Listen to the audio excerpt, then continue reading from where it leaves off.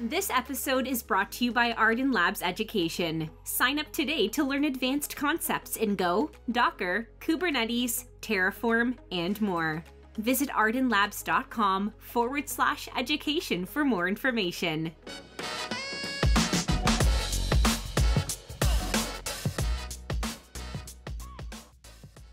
Hi, welcome to the Ardan Labs podcast. Our special guest today, all the way from the UK, is Alex Ellis. Hey, Alex, thank you for joining us today. Hi, Bill. It's good to be here. Um, looking forward to talking about Go and how it sort of transformed my career almost by, by stealth, completely unexpected, really, when I first started learning this language. Yeah, I'm. We're really. I'm really interested in hearing that story and how you got there. Uh, but before we we go back into the time machine, um, just give everybody the one to two minute kind of um, background on what you're doing today. Like, where are you right now? Yeah. So today I'm. Um, I have my own company, a small company that I set up um, and started doing business in 2019, completely, if, if you like, independently of other employment. Um, through that, I'm offering enterprise support for a project called OpenFaaS, something started now about five years ago. Originally, I wanted a way of being able to run serverless functions with containers, with Git as a source of truth, and all of the kind of things we come to know um, if we look at something like the CNCF landscape. And it wasn't really possible at the time. You're heavily locked into one of the particular cloud providers. It was difficult to move between them. And so I started that project. It's now got over 28,000 GitHub stars, but most importantly, uh, dozens and dozens of end users in production, uh, companies, big and small. And so that that's what I set the company up to do. And then I found out, and as many people that have heard from me before in the past know, there is a bit of a struggle to monetize open source. Um, what a company can get for free, they're unwilling to pay for. And so the journey then taking me on how to sort of commercialize that, how to learn how to do enterprise sales and pricing, um, and just how to also take take all the knocks and rejections that you get when suddenly something that you've given away for free, you start to add parts to that that are not free. Um, and the way that people that were having a free lunch before and supporting you now maybe change their colors. So, if anything, it sort of made me stronger. But I've not always been here, right? You know, I have um, had quite a long past of learning new technology, talking about it on my blog, helping others to understand it, going and speaking at conferences. Um, and that's something that really led me to go as well. Awesome. Yeah, we had a conversation recently with Matt Holt, who I think had a similar journey. So I think as we get near the end of our interview today and we can talk about some more of that stuff, it will be it's a it's definitely a challenge. It's it's a super challenge, right? Getting companies to adopt your tech first and then getting them to pay. It's not easy. It's not easy. All right, but before we get there, before we have those conversations, right? We have an hour together here. Um, I want to get back into the time machine, and I want to try to have you put some dates and ages around around some of the questions that I want to ask, just so we have an understanding of kind of the year helps us kind of get a sense of what tech was around then. But I'd love for you to kind of think back on the very kind of first memory you have in uh, on doing something with a computer that wasn't gaming, let's say, where, where you wrote a program or you did something with, like something where it was more work than than gaming, let's say. You know, I think everybody will have experienced some form of uh, console or or arcade, you know, an Amiga or a Sega Mega Drive, depending on when you were born. But for me, the real interest came about, I think, with um, being able to write my own programs. One of the first ones that I did was with VB3, and I bootlegged it on a floppy disk from the school computer, took it home, and developed a, a, login screen, just a login screen. Uh, and that is all. All it did was validate your username and password, nothing else. And it, I found that so fascinating that that Christmas, uh, I asked my parents for VB6 for my Christmas present, and it was a bit more expensive than what a lot of uh, kids would have got at that age. Uh, but they got it for me, and then I went on to keep developing those sorts of programs at home. How old and and kind of what grade were you in when you got that bootleg VB3 and you started playing? So grades probably don't make a lot of sense to an American audience, but I mean, I I, I don't know exactly. Uh, somewhere between eleven and fifteen, I can't remember exactly. Somewhere around there. All you right. know, at what we would call um, secondary school in the UK. Okay. What kind of computer did you have at home? Was it able to handle that VB3 at the time, or was it like? Yeah, we had an Intel processor um, with Windows on it, and I did used to get it into an unrecoverable state and have to have family come around and fix it. What year? So 11 to 15. What what what year did you start university? Let, let's kind of. Did you go to university actually? Yeah, sure. I went to uni. Um, I mean, to, t- to touch on what I was saying there, I you know I don't want to sort of give away my detailed age and all my records to the whole internet, but let's say roughly that in secondary school I picked up VB3. It was the the language that was around. Um, through a news forum, I ended up selling a program that printed receipts for somebody who needed a bespoke solution. It wasn't a lot of money, like a hundred dollars. Um, supported them with that, and so from very early on, I had that experience um, and that sort of interest in being able to create a program, see it solve a problem, or automate something and make it better. Do you remember how much that VB6 cost at that at that point? I think it would have been about hundred pounds because you could get a like a student edition. Maybe that's one hundred and fifty dollars. Oh, that's right. Microsoft used to sell. Um, they used to sell uh, the student educational things at, at a much better price. Oh, that's right. I remember that. Okay, cool. All right. So you, what? How did you find that job at that age to write that receipt? You, I had a connection through uh, a news group. I used to do some answering of people's requests and problems that they had. Um, I don't know if you remember, you used to have a, a mail client and then you'd have like a news client. You go in these news groups that really don't seem to really be that popular at the moment. Um, and there's just made a connection with someone, started emailing, and he asked, probably asked me if I could make him a program to do that for his takeaway business. I think he was in Florida. Wow, that's that that's awesome. So, after you're doing that, um, are you doing more of that in secondary school? Are you are you getting paid to write some software?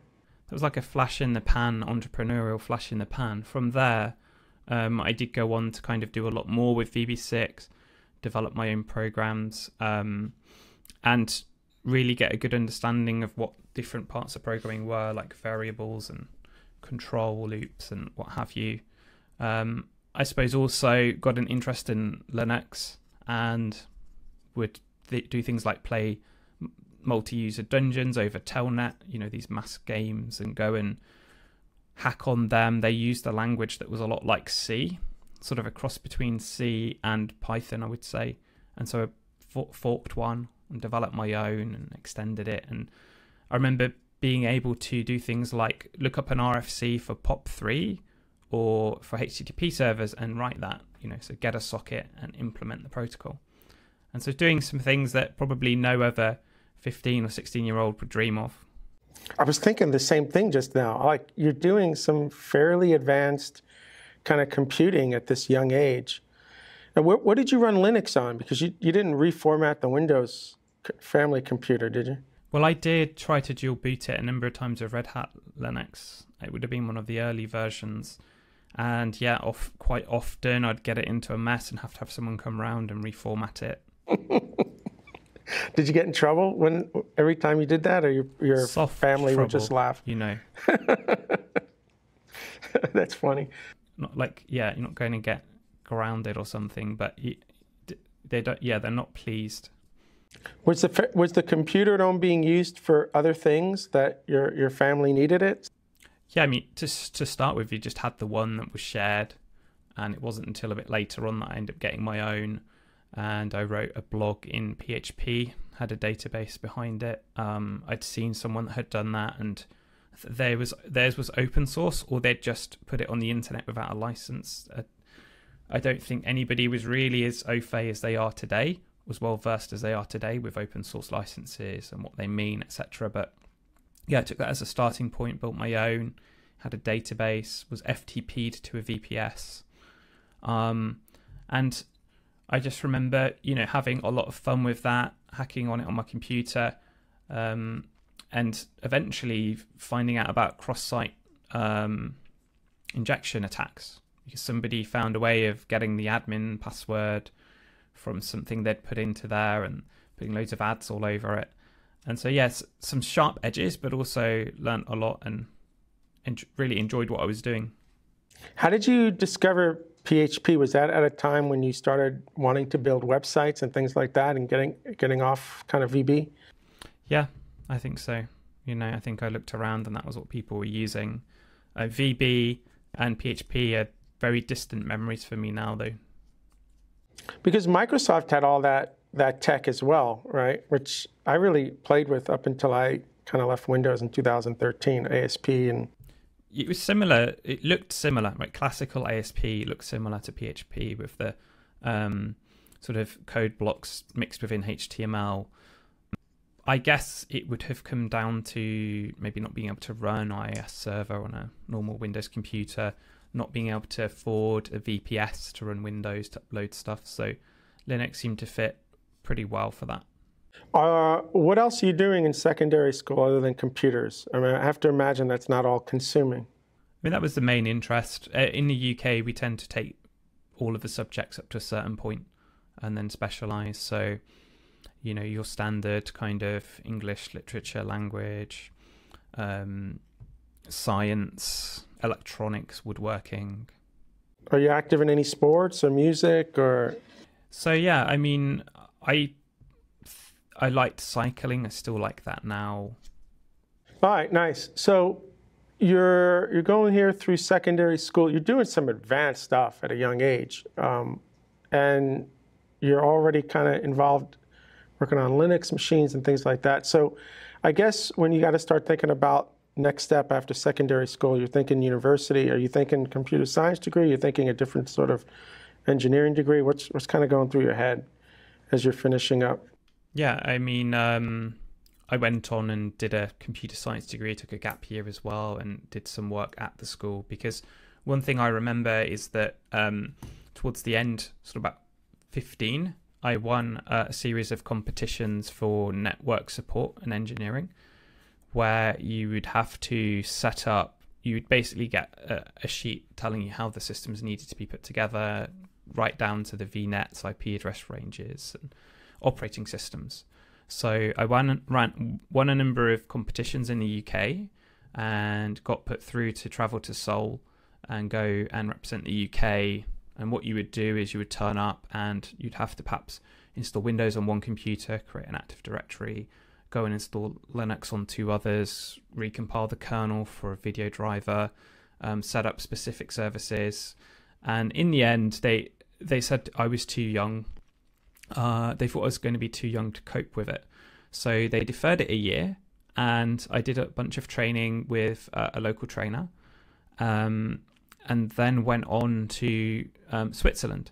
And so it was called the Skills Olympics. And this was something where you had bricklayers and you had um, woodworkers, electricians, hairdressers, beauty therapists, and, you know, IT and networking was one of them.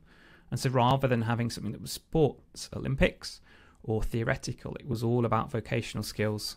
I've never heard of this before. Is this still something that's it possibly is called the World Skill. Uh, uh, it was called the World Skill Olympics, and it was sponsored by the Prince's Trust, so Prince Charles's Trust.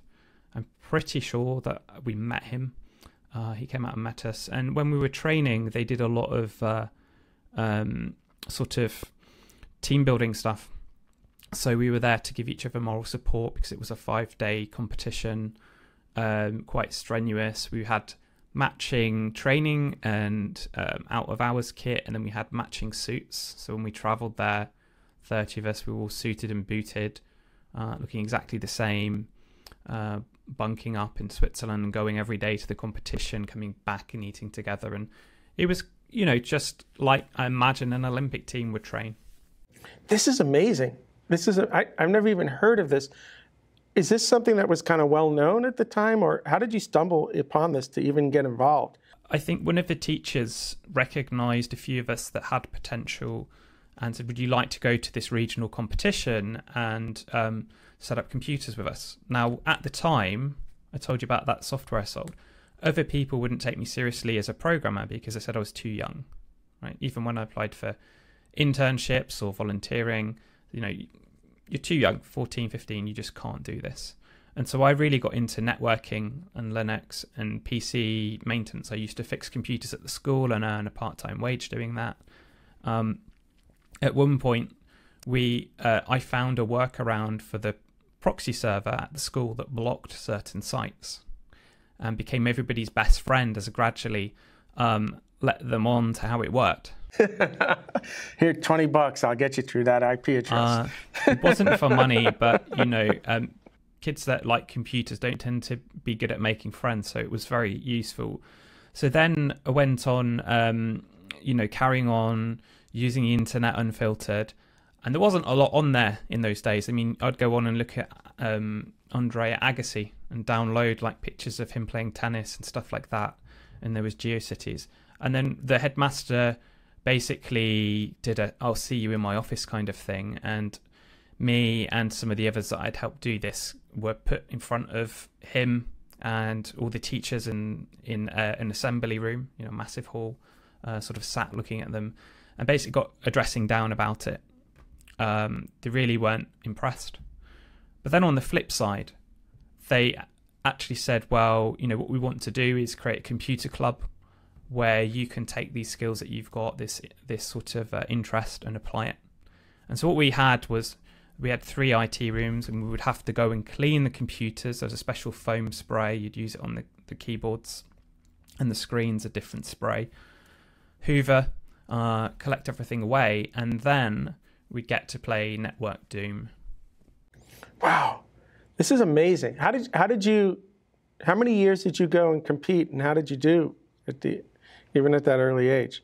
So the the Skills Olympics was from I don't know maybe fifteen to seventeen something like that. You know, since I'd been involved in the program doing the local um, um, tests and what have you. Uh, I went out there, did really well, came in the top five. Most of the people there, I think I was still sixteen. Most of the people were sort of in their mid twenties and had been working in the industry, and there I was at school learning Linux and networking and how to fix PCs in my spare time. How did you feel like at, the, at just knowing your age and who you were at the time, being young like that? How did you feel doing that well and, and looking at all these other adults, right? I think uh, I, I felt good about it. Yeah, I felt really good about it. So I, I would almost imagine me at like, if I was like 16 having that kind of success already against industry level people, I almost start thinking, why do I even have to go to school? I'm already here. I can go get a job. Like, what's is any of that going through your head at this point? Because you seem to already have skill sets. I mean, it works differently in the UK. I mean, we when we say school, we mean something different to in America, where school means university. Um, so for school, compulsory education is probably six to sixteen, and if you're smart, until eighteen, where you have uh, your your sort of final exams. So I went on and did a a double qualification in IT, and we were doing silly things like how to write a letter and format it, and how to do Excel formulas and what have you. And so obviously that that was kind of easy, but not that interesting to me and I just invested more time in that other stuff I was doing. I ran a an i386 on the network. There was a computer room I'd go up to and hang out in, just a little cupboard, and I would have that in there running Linux 24/7. I installed a, a MUD multi-user dungeon, like a role-playing game on there, and people from the internet could connect to it.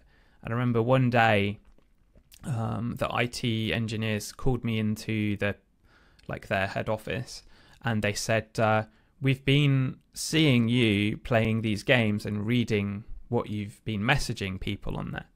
Um, you know, my friends, and they'd been snooping, and that was when I learned that Telnet wasn't encrypted, and that you could just install a program and read whatever traffic you wanted off the network.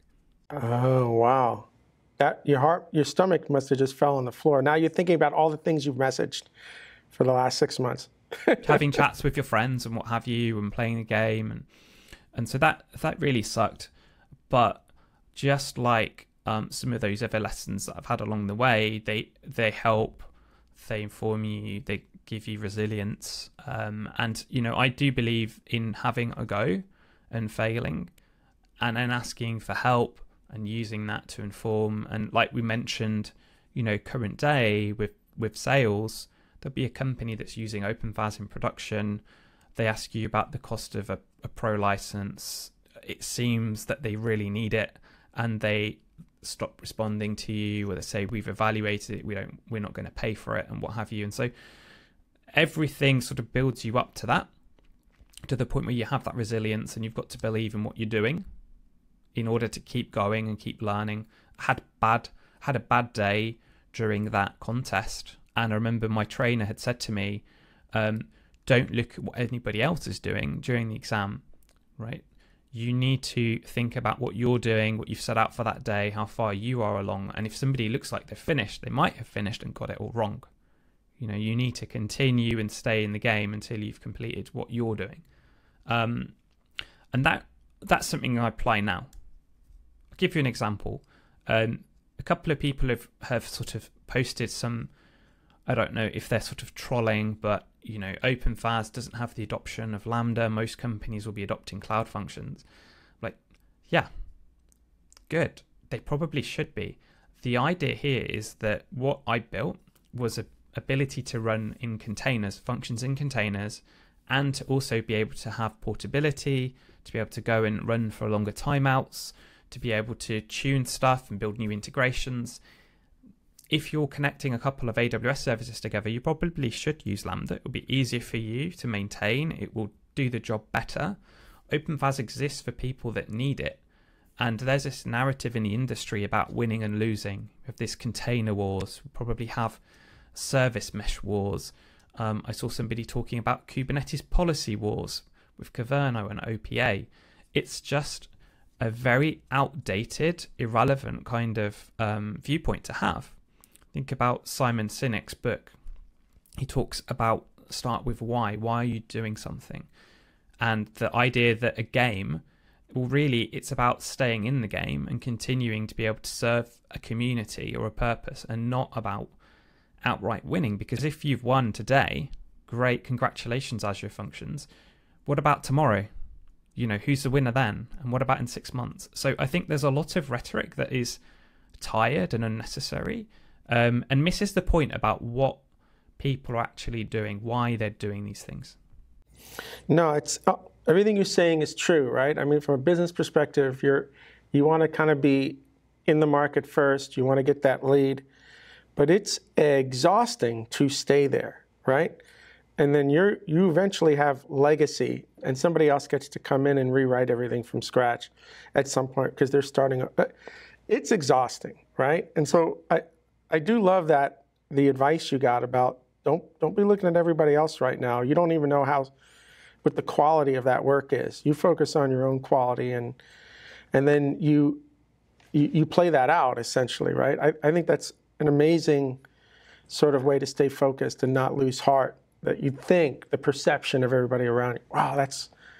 I'm going to remember that. We're going to get that in the show notes. I don't want to forget that. All right, let me get you back now. You, you, you decided you're going to go to university.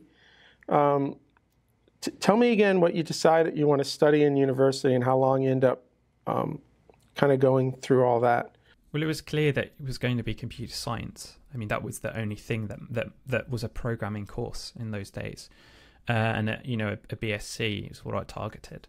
But before I got there, um, I had you know I had my grades. I knew I was going to get a get an offer at a university. Visited a few with my parents, and decided to take a gap year because I didn't feel that I was ready to just launch into that. And during that time, I continued to work with the IT staff doing what you probably call sysadmin type of work. Um, earning some money. And then I took all of that money, and a friend of mine told me that he'd learned French and Spanish and gone and done the Camino of Santiago of the Way of St. James, uh, an ancient walking route in the north of Spain, 500 miles, 1,000 kilometers. And so I was very interested in languages. I'd learnt um, Spanish at school to a rough level. Uh, I then went back and brushed up as best as I could, learned some French, and German. And as I went out there, the sort of the time of my life, walking on my own, meeting people on the way, uh, socializing, and um, just really building some great experiences. Walking, just having a backpack, uh, a couple of changes of shirt and trousers, and that was it. That lasted 30 days. Not knowing every day what was the next day was going to bring. Like you had no real plan other than you wanted to get to a certain distance, right, in a certain amount of time. So they were called things called refugios or refuges, and they were either monasteries, sports stadium, uh, sports halls, uh, maybe a church or something like that, or a little hotel that had been converted into a big bunk up place. Uh, very rough, you know. And the first night, I remember being there in the place called Roncesvalles, and they had um, fleas in the bed. I remember telling the hospi- hospitaleros about it, and they were like, uh, "Yeah, um, very rough conditions, very cold shower, no hot water. And I thought, you know, what am I doing here? Uh, and then the first day of the walk is just up, up, up, very steep round um, and through the mountains, basically through the Pyrenees, and incredible views. But that's where you start to meet the first few people and make friends with them, just like people that may have gone to an event like a KubeCon. And the thing is, you're all in the same boat together. And I think when you realize that and you start to identify with other people as equals and going through a common experience, you build closeness very quickly. And so I'd make friends and perhaps see them for three days in a row and then not again for two weeks. And then you would bump into them again and it would be really exciting um, and you'd be very happy to see them. You walk together. And basically, yeah, you wouldn't know what the next day would come other than you would be washing your clothes that night, cooking for yourself, bunking up, and in the morning you'd have those clothes on your backpack, trying to dry them in the sun, walking another 30 to 50 kilometers, uh, and then doing the whole thing again. Did you have, was, I mean, okay, the, the, the question I have is eating and, and buying stuff, right? Like, so did you, do you budget like 10 pounds a day or something? And, and you just have. It probably was about that because I was very cheap back then. Um, you know, I, I can't say quite why, but I mean, I just I just was. So I would be paying three to five euros a night to stop over in a refuge, and then on food, very very little. I think I was probably vegetarian at the time, um, and so would go buy some lentils, some pasta, cook it up, some some vegetables, and yeah, it was very frugal. Um, but yeah, it worked. I survived, and um, actually, after I'd done that, I came back and then I went off to university and uh, started my degree. It sounded like in the beginning of that journey, it was really rough for the first day or two. Maybe you thought about what what am I doing, and you persevered. You got to the end, and you must have felt really proud of yourself to kind of finish that. How much of that trip still carries on now from like, kind of university up till today? So I, I'm not in touch with any of the people that I met there. Um, the kind of the kind of people that you meet, as I say, just on a a level playing field with you. You make quite um, strong bonds with folks. You're basically just doing life together. You have very little to think about. You've got very little material possessions on you. I had a mobile phone, and in those days, it was basically off for 30 days in my backpack. I never turned it on if I needed to. Um, just wrote updates to my family on this PHP blog that I'd written, and people could follow along with that. And you used to go to internet cafes. That's kind of how things were back then. I mean, you're spending a lot of time kind of alone in your head with your own thoughts too for 30. That alone must also just help you kind of decompress from the world for a little while. Yeah, it could do. I mean, I think if people are interested in the Camino of Santiago, there's lots of blogs and journals about it now. Go and have a look about it. There's even books about it. But for me, I thought I was going there on my own. And then I realized that you're with people all the time. And somebody that I met on day one, I walked, I walked with until I finished the Camino. And we went into Santiago together, uh, queued up for the church. They swing a big incense around for the smelly pilgrims. Uh, and then we went our separate ways. So it, you may think it's lonely and that you're on your own in your journey. Um, but there's so many other people around, and we're all so alike. Wow. All right, so you go back now and you do your university degree in computer science. You're so advanced at this point. Did you feel at any time that the degree was a waste of your time, or did, what what what is it that you learned? So three years to a degree, a, a bachelor's in England, and um, in the first year, some fundamentals. You know, we did um, algorithms and data structures. Now that involved doing formal proofs, which got my head in a twist, um, and actually understanding uh, the the O the O notation and not just being somebody who hadn't done the course, was at work, had a program that was running slow and had to Google it and, and try and guess what it meant from Stack Overflow. You know, I'd had to, to be put through the classes and the tutorage to figure out what it was and try and understand it. Um, you know, is it n log n? Is it n log n or, you know, um, and also the data structures are really useful because that was something that I, you know, I, and I don't think I even need to really do it now, build my own data structures from scratch. But having the understanding of how they work and why, that was really good stuff for me. Where it was less useful was I remember in, I think the second year, there was object oriented programming class. And uh, I, I just went to the tutor because we had to print out pyramids in ASCII. You know, you'd put the number in, and in Java, you'd write the code to write a pyramid in ASCII of that many lines or that sort of size. And I said, look, this this is just really not engaging me. You know, I I've been programming for a number of years. Um, I'm not getting a lot out of this. And he said, well, uh, let me have a think about it. And he got back to me and he said, well, what I want you to do is special project. You're going to mark the other students' work. They're going to build these pyramids and one thing another. They'll submit the source code to your server you will load it, execute it, validate the output, and uh, also provide the, the inputs, right? So that you can test it. We're also going to randomize it, so your program needs to be able to uh, figure that out as well. And had a lot of fun doing that. Loads of fun working with sub um, files, um, just really getting into it. And at the end of it, he gave me 98%. And I said, why didn't you give me 100%? I've worked so hard on this. I've done everything that you asked for. Um, and he said, I don't want you to get a big head. So, but I mean, that was very sweet of him. And I'm sure there's universities where they would just go, you know, that's just the way it is. You've got to do it. And there's so much in life that's that way. There's so much. And sometimes you've just got to suck it up and get on with it because that is the only way to get to uh, what you actually want out of life or what you want out of your career.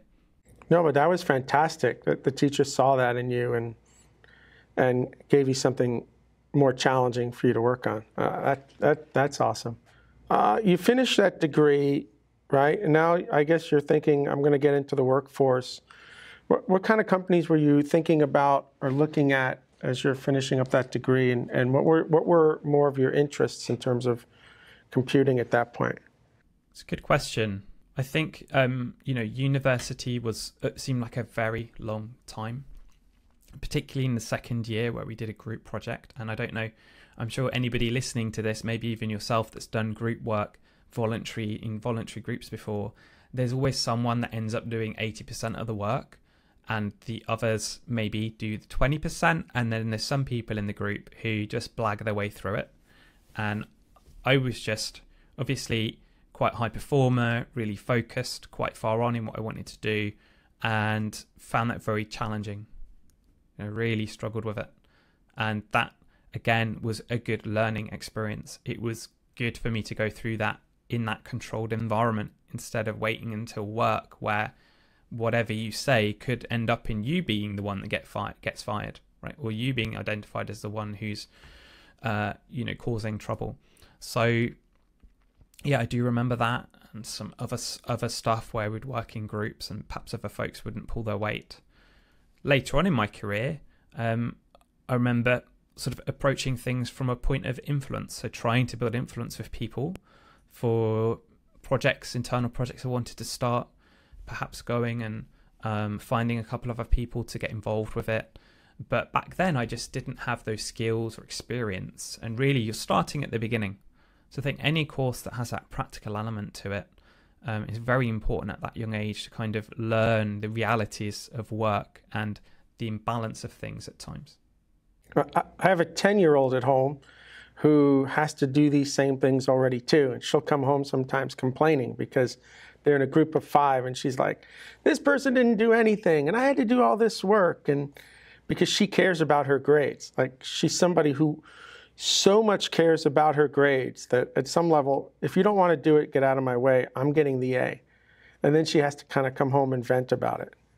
Yeah, I can relate to that. For me, I wanted the grades because I wanted to prove myself. You know, like I'd done with the um, the skills Olympics, like I'd done with uh, just getting into the university and getting my grades. I wanted to do the best I could do. Like that ninety eight percent, that the two percent hurt me at the time. It wouldn't bother me now, but then it was like, well, I've done everything I can. Surely I should get hundred percent. And so when your mark my mark at the time was subject to five, six other people's performance and, and interest, that was difficult.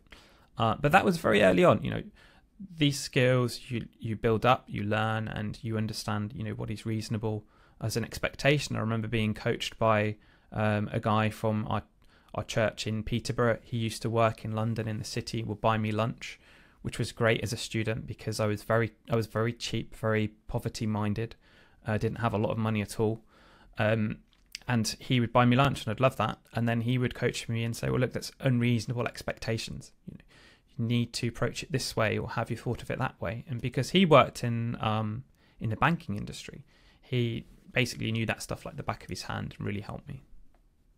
So, as you're graduating and looking for work, are you thinking like you don't want to be in a group environment at some level? Are you thinking like, uh, I know I'm going to be more successful if I can be more of an individual kind of contributor in a sense of what I want to do? Like, did that bad experience kind of lead to where you wanted to go?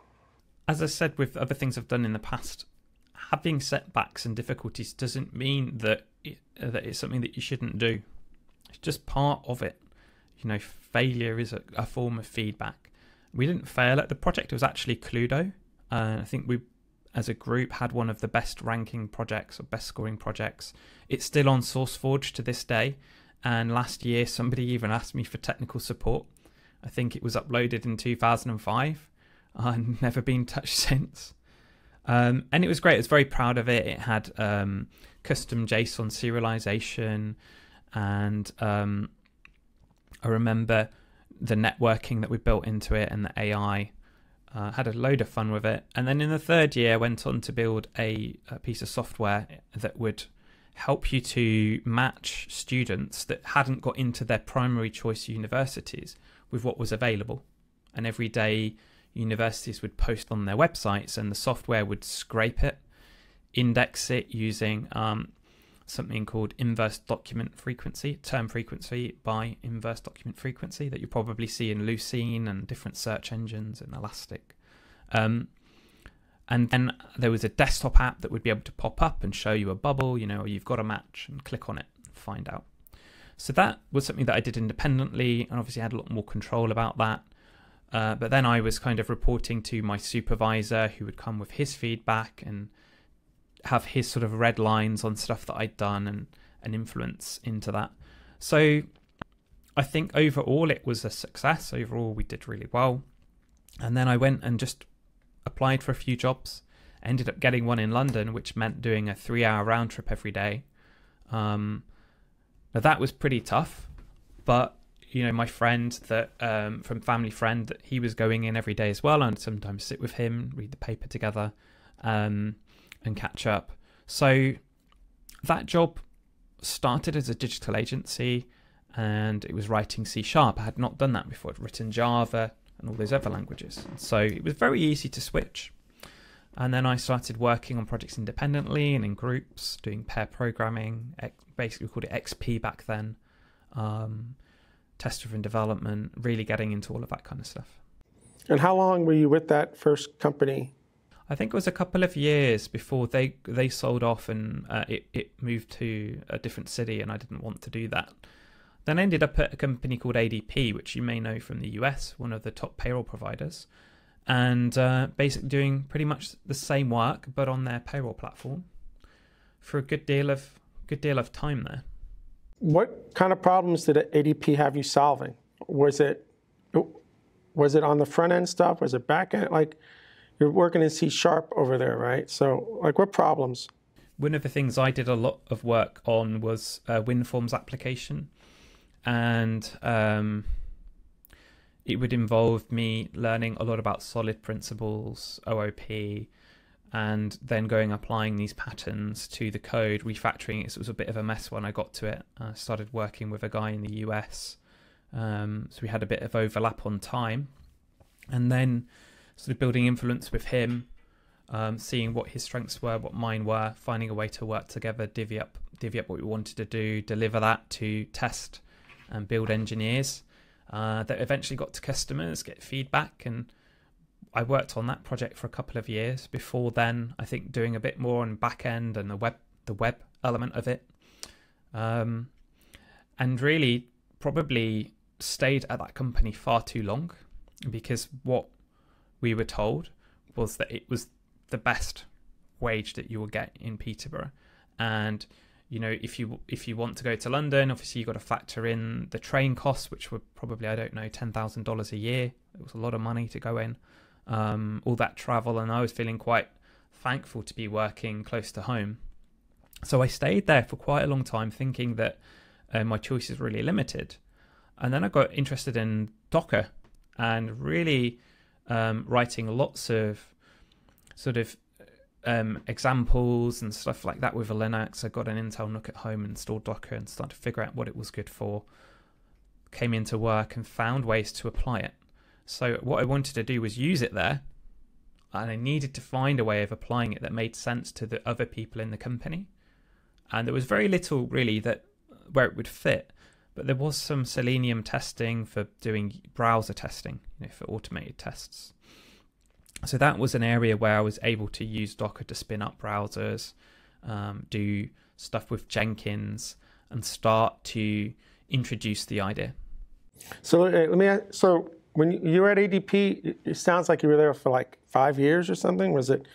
It's closer to ten. You know, and that's what I mean. I stayed there almost an embarrassingly uh, embarrassing amount of time. But when I started getting really into Docker, what happened was uh, I realized that my colleagues in the US were getting paid three times as much money as me. I also realized that um, I really preferred working with Linux systems and with um, different programming languages. I taught myself Python, Node.js, Go, um, and at that point, I just started finding ways of learning on the job. So we had probably 300 different DLLs to build that all had to go in a special order, and they were manually inputted into a system. And so every time a new project was introduced, it would break the build, and someone would have to raise a request to change the manual order. Uh, and I found a way of using Go to spider the file system, pull in all of the projects, parse them, figure out the order dependency by walking through it with things like Dijkstra's shortest path that I'd learned at university, and produce this final build order that could then be used to, I don't know, create a batch file and, and do the build in a much more efficient way, or even parts of it in parallel. So let, let, me get the timeline back a little bit because you're you're at ADP for 10 years. Docker kind of becomes publicly announced around what 2013 or something like that. So are you starting to play with Docker at ADP? Yeah, that's what I, that's what I was saying. Yeah, Docker and Go and and really getting into Node, going to local user groups, um, starting public speaking.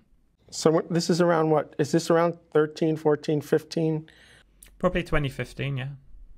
And then some stuff before that. I mean, I, I can't remember when I started my blog. It might have been 2013 that I started my technical blog and started writing about Node.js and Raspberry Pi.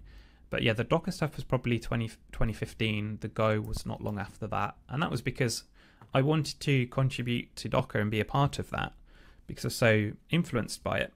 Um, they'd found some training materials that I'd written up and asked me to become part of their captain's program which is like an a voluntary influencers thing. Um, and then I started to get more opportunities. I started to get to know people like Justin Cormack, then an engineer, now the CTO of the company, um, and a lot more of the Docker captains, all of whom were independent contractors, more or less. So, I actually have two questions before we move on there. Did did you find any resistance in ADP to bring in all this new tech? Because I find that a lot of these bigger companies get really established, and it's hard to kind of bring in this new tech. But you were bringing it in. You were able to start learning this stuff and start leveraging it. I I, th- I find that really, I find it positive. No, so I did all of this on my own time, and that was the way that I was able to um, to get some of it in was by going deep on this in my own time, which I was in control of, find out what it was good for as a technologist, maybe write it up on the blog, but knowing the company and the teams and how they thought and, and what their opinions were, I was then able to find ways to slip things in. So Docker into the Selenium testing because of the pain it resolved for them. Uh, Go for this big build order dependency problem because of the pain that it solved for them. And I think when you have people that are busy um, and you're taking care of this thing, um, sometimes they don't care whether it's been written in Go. Right? Because as far as they're concerned, you've been there nine years, you're probably going to be there another 10. Um, if you leave, they'll figure it out.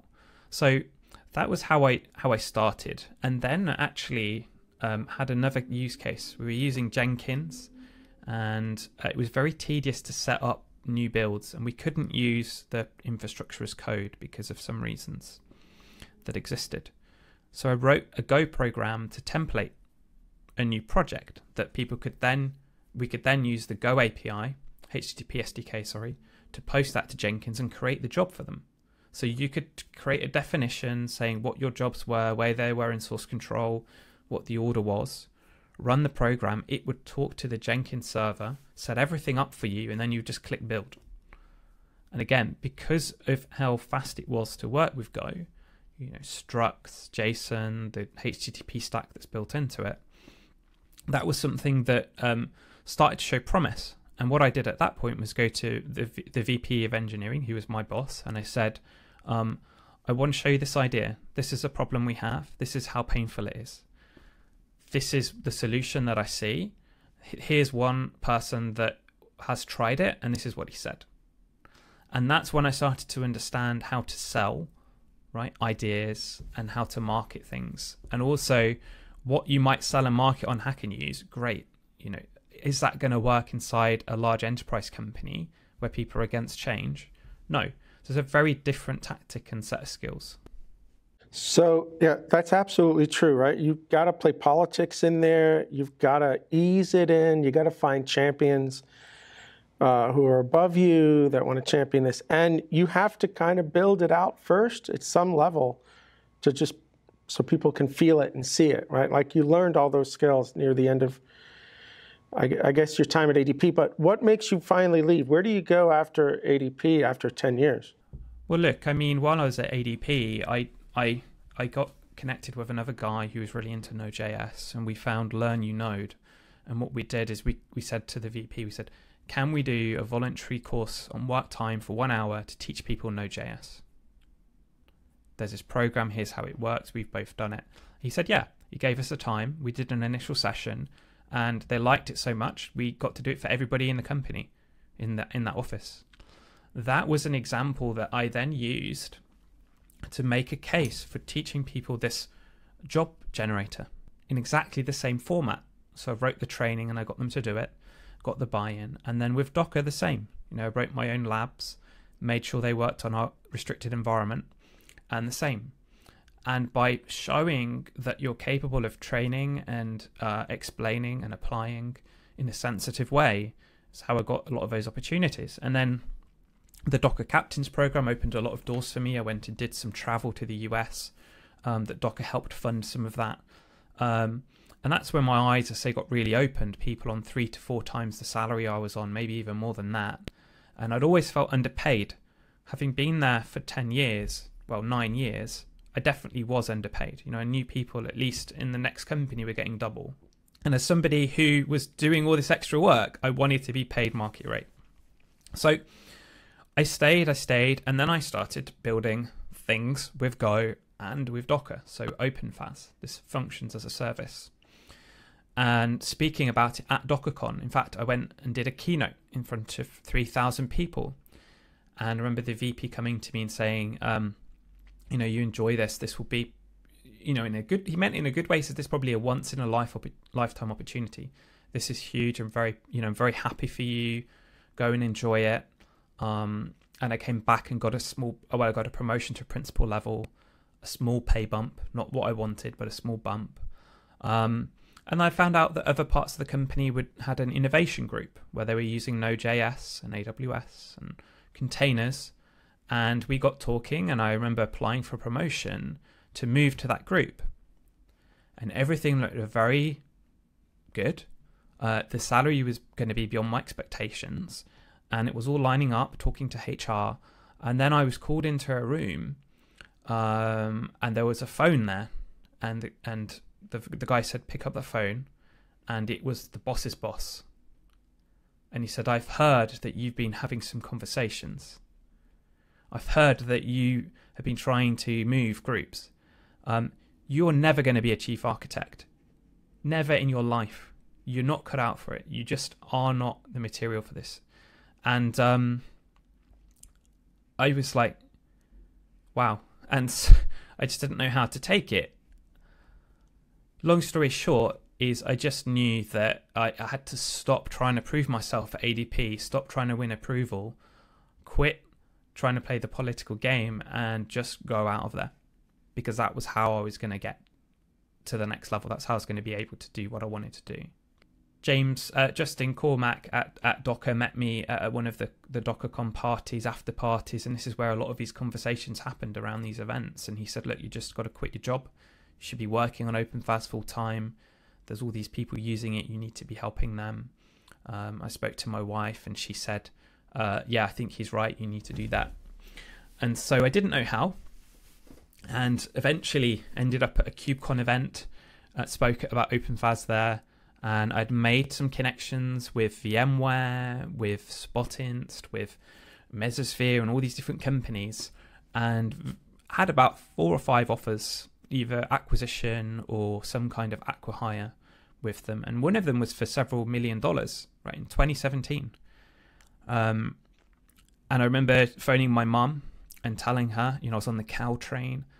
You know, somebody's just offered this this amount of money to me. Just had a coffee with him. He, they want me to bring OpenFaaS to the company, and um, just the kind of thing I never thought that would happen to me. Something that's from the Silicon Valley TV show.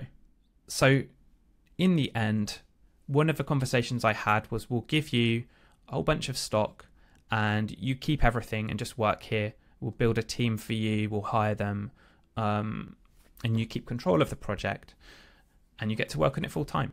You, know, you don't have to give it away. And I thought that was the best thing for the community, even if it wasn't the best thing for me financially. And that's what I did. And that was with VMware. Now, I was with them, um, had a team of three junior developers, one was an intern, and we did some good work in that year. You know, really moved the project on and being able to focus on it full time um, without having any other work or commitments was really good for the project and what we were able to achieve. However, um, you know, having three juniors on your team, I don't know if you've ever been in that position. There's a lot of training and onboarding, teaching them Go, teaching them Kubernetes, teaching them how to do public speaking, other things that are expected out of the organization. And so um, having to be a full time coach meant that it also slowed down what I was able to do on the project.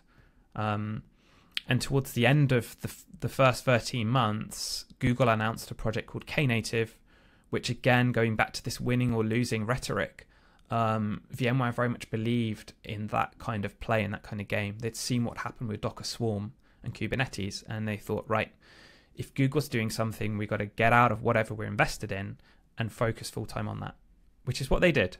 And so I ended up having no way to fund my work on OpenFaaS, and no way to keep the project going. And none of the open source users and none of the commercial companies that were using in production cared about that. You know, they just kind of expected it to continue to be maintained to that high standard without any kind of financial input into it. even emailed the top companies that you'll see in the adopters files, and they were like, "No, we we're just not interested. Um, you keep doing it for free." So um, it was difficult. That was 2019. Okay, I'm gonna I'm gonna stop you for a second because I want to talk about that, but I want to I just I want to go back in time just a tiny bit here. Back in like 2015, I had a need for functions, right? Server function. And I found a company called Iron.io. I loved the company, I loved the people there, and I loved the tech. And we were, we were using that tech like in 2015. Um, you know, we had these asynchronous jobs that we had to execute, and they had all the infrastructure for it, and we could run it on prem, right? And this is even before Amazon and Google had this tech anyway in their cloud. Like, these guys were ahead of their time. And they built that tech based on customers that, you know, they were like a consulting company. So they had customer needs, they developed a product. So my question to you is what made you start building OpenFaaS? What, what, what was the problem that you saw and the tech that didn't exist that originally made you start building this tech? And I'm guessing that was in 15, 2015 is when you started building this tech? Late, probably late 2016. And as explained earlier, uh, maybe maybe uh, it wasn't clear. I needed a way to run serverless functions in containers that didn't exist at the time. Nobody was doing it in that way, where we could leverage the work that Docker was doing with networking and multi-cluster and Swarm, be able to schedule the containers. Um, a few people had a go at it, where they were running the container and then making it shut down and then trying to have it restart, and it took far too long. You just could not cold start a container; it didn't make any sense. And so the way I went about it, after sort of sitting down with Justin Cormack and scratching our heads together, was um, having this idea of a, a, what was called a watchdog. So Swarm didn't support sidecars, none of this kind of stuff like you see with Istio and service meshes. We needed some way of having a PID zero, an init process that was able to receive a request from a HTTP caller, marshal it in some way into a program, and get a response back out. And it looked a lot like CGI bin, right, from my PHP days. And so I wrote a Go program that was very similar to that. For every request that was coming in, the headers would be marshaled as environment variables, the body is standard in, the production from the function is standard out back to the HTTP server to whoever called it. And so you could wrap something like um, cat or uh, cal or date or something as a function, right? Something that didn't have a HTTP stack. Uh, very similar to inetd in, in Unix. Then needed a, a, way of orchestrating how to run these containers on, at the time, Docker Swarm, uh, which became the gateway. And the gateway was a HTTP API, RESTful API, that you could submit an invocation to. It would go to the function and get you the result back. We had a CRUD API for the functions. And then at some point, I remember Patrick Chanezon at Docker said, wouldn't it be cool if you could auto scale this? So set the replicas based upon the request count. And that's where um, Prometheus came into the picture for collecting metrics of how the functions were being invoked. An alert manager for them being able to generate an alert to the gateway to say this particular function is getting high traffic, can you scale it up a bit? And so we started to see this uh, evolve and get to the point where could do a really good demo like the one that you'll see if you Google DockerCon 2017, and, and it was just called FaaS. Little later on, you know, from my influence at ADP, you hear um, Googlers talk about technology they had at Google that they have written open source versions of, Borg, how that's become Kubernetes. Well, for me, um, having this idea of queue workers was very popular at ADP. We did a huge amount of data processing, importing feeds, generating batch jobs, and what have you. Um, and so I created something called a queue worker, and that integrated with NATS. And that's a very simple way of doing queuing compared to Kafka. Um, and it was easy for me to understand. So then we had this watchdog in every container that could make any process you wanted into a function. We then had a queue worker, so you could dequeue and enqueue and dequeue requests out of band. Um, and the and the whole thing ran in Docker and could scale out on multiple hosts. Wow. And a lot of this development you had to kind of do on your own time, right? I mean, did you always have the idea of having this as open source from the beginning, or you were just trying to solve a problem? Yes. Yeah, so, as a uh, complete Docker fanboy, I thought what Docker did is what everybody did.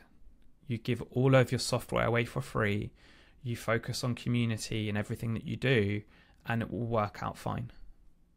However, uh, at some point on that journey, I realized that Docker had millions of dollars of VC money and kept having to get more to continue doing that. I had none of that. And at one of the parties that I went to at, at DockerCon, James Governor from RedMonk came up to me and he said, "Look, what you're doing with OpenFaaS is uh, it's incredible.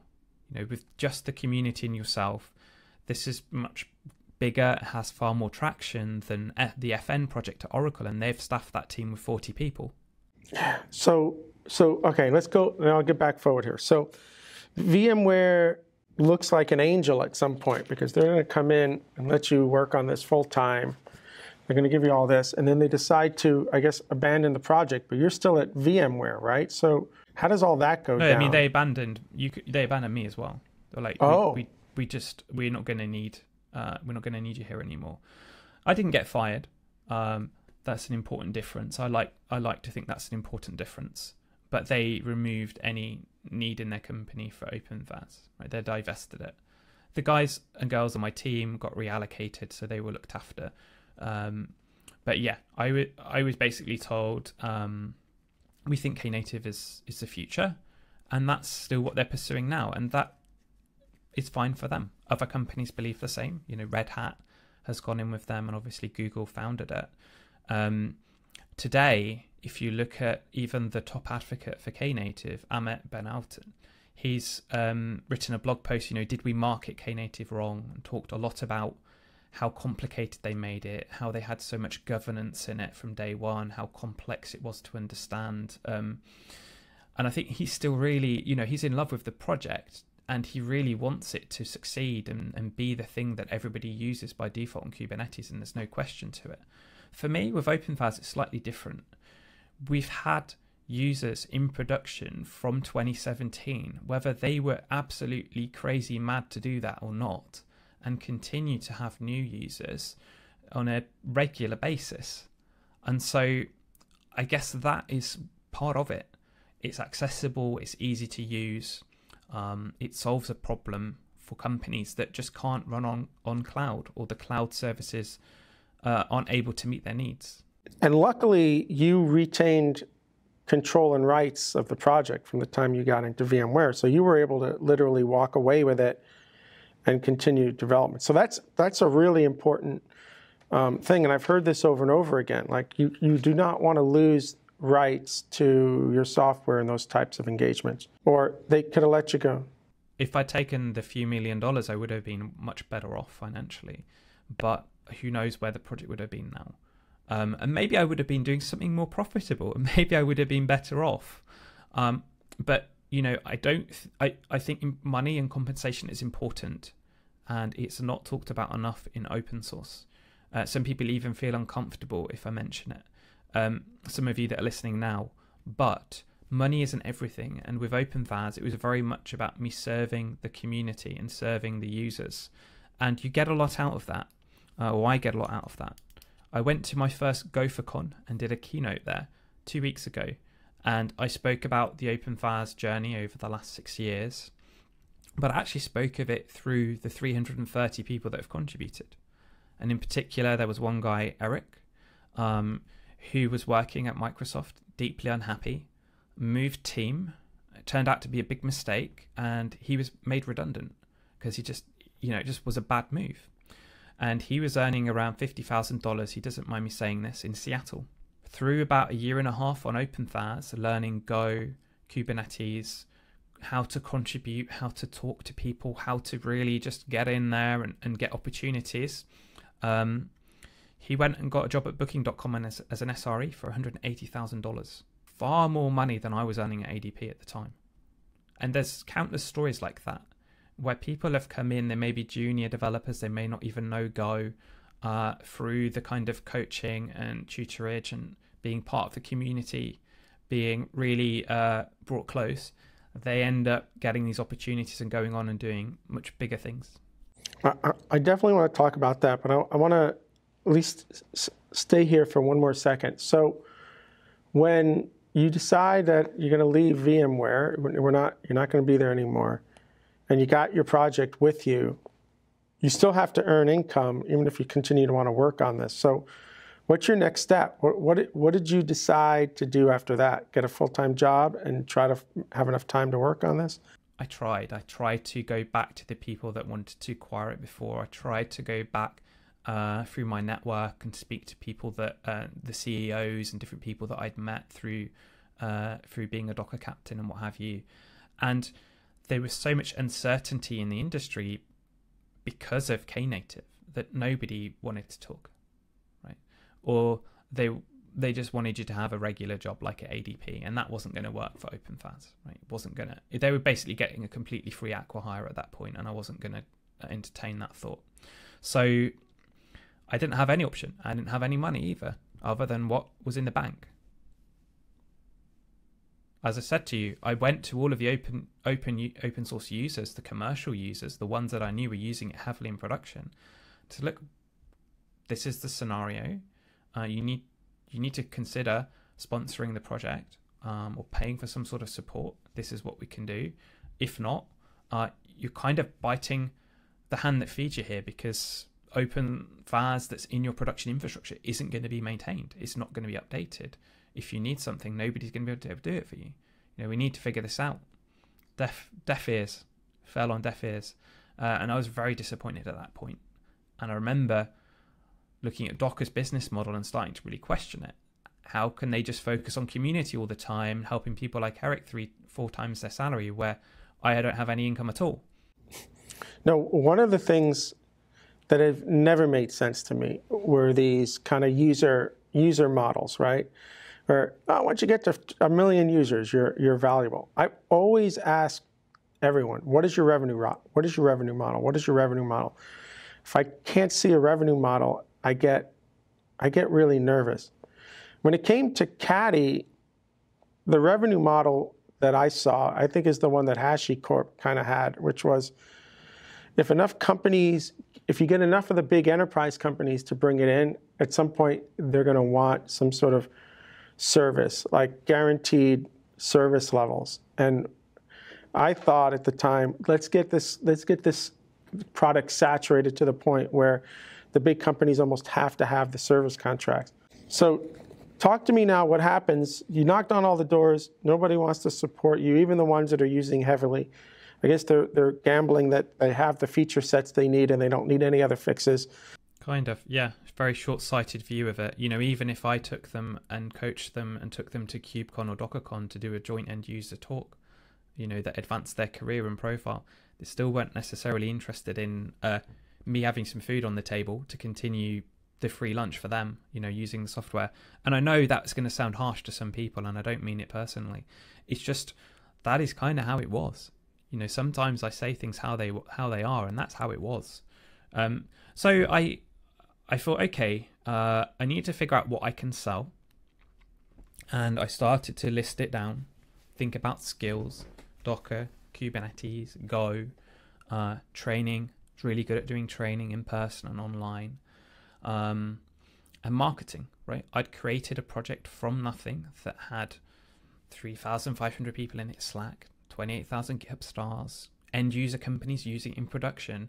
I knew how to talk to companies and how to, to get developers to understand the value of something, how to explain a co- complex subject to them in a way they could go, oh, I now I understand how to apply it.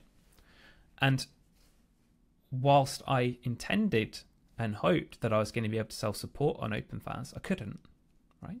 So instead, it ended up being um, me building a, an agency um, that gave strategy and consulting advice on marketing. I did really well out of that. I met my salary at VMware and exceeded it, uh, which was a lot of money, just through marketing with other companies, helping them understand how to approach developers, how to create content, maybe even doing some of that for them, going and doing some training for the Linux Foundation and doing official courses with them.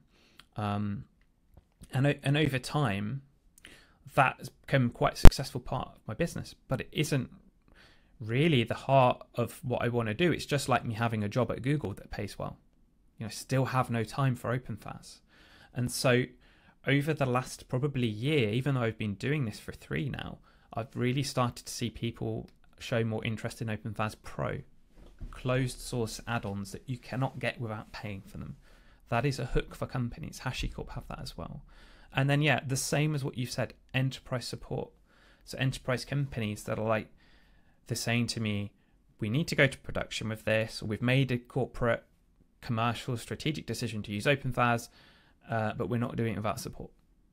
And so now I'm starting to get to that point that I wanted to be at in 2019. And I don't know why it's taken this long to get there. Maybe Knative had to sort of semi soft fail first.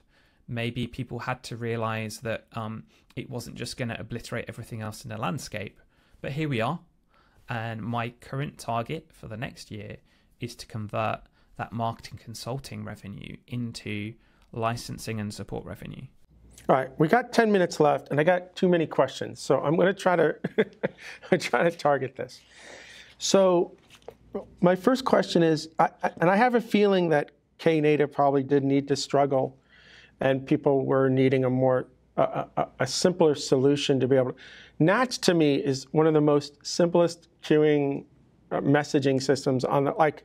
You just basically build it and it just works. Like I cannot never speak enough about Nats and the way they engineered that for it to work. If you've ever tried to get up Kafka or RabbitMQ or anything like that, you'll it's not enough hours in the day, right?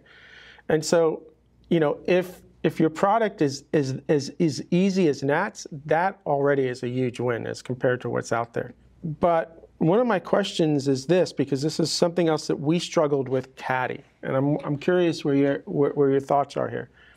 At some point, I said to Matt, Caddy needs to be an option on every dropdown in every cloud when it comes to configuring that, right? So Caddy should be an option for your ingress or egress server. Like it has to be there because if it's not there, it's not, a, it's not an option. And so, how do you, or how have you thought about making people know that, that the, your product exists and that it's an option?